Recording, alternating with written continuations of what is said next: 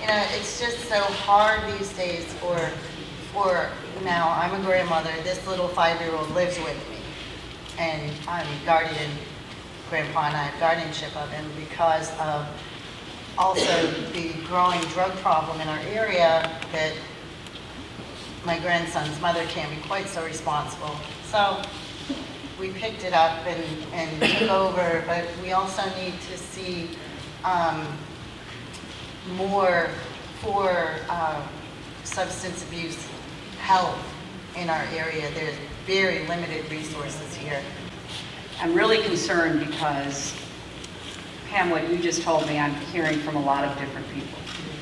There is a hidden epidemic, you know, the drug abuse problem, whether it's pills or meth or heroin, is not as visible as in, you know, 30 years ago when there were all kinds of, uh, you know, gangs and violence. This is a quiet epidemic and it is striking in small towns and rural areas as much as any big city.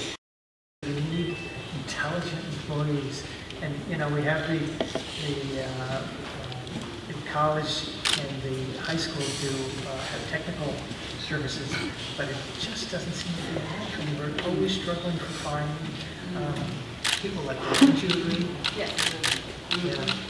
So, I mean, what? what Well, you know, I met, I met a young man, I don't know if he's out here, me Ben, Ben Brown somewhere? Yeah, he went to the Keene State uh, Yeah. College program to learn these um, skills. And that's what you need more of, right? You need at the high school and the college level, community four-year college, more programs that are related to the skills that employers actually need. Mm-hmm. You know, what are the job skills that you are trying to And it's technical get? skills. It's I mean, I, technical I think there's a place for the humanities, but it's the mm-hmm. technical skills, the mm-hmm. electricians, the plumbers.